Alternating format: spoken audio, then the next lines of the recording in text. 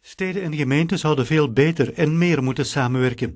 En dat het liefst in een geïnstitutionaliseerd verband dat veel minder vrijblijvend is als nu.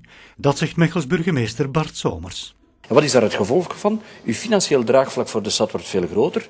Het landelijk gebied wordt veel beter beschermd, want we moeten niet overal in elke gemeente het eigen verkavelingetje hebben. Je kunt het concentreren in de kern en uw kern wordt eh, slagvaardiger en sterker.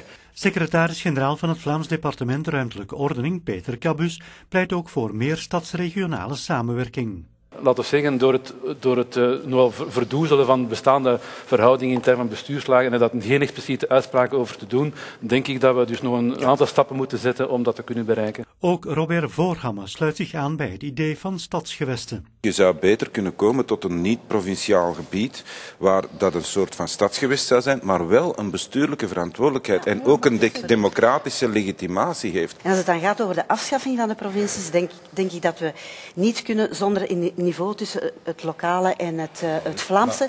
En dan denk ik dat de stadsgewesten eigenlijk een, uh, een ideaal model zijn. Echte stappen in de richting van een ander samenwerkingsverband tussen stad en gemeente zullen hoe dan ook na 2014 worden genomen. Na de Vlaamse verkiezingen is dat.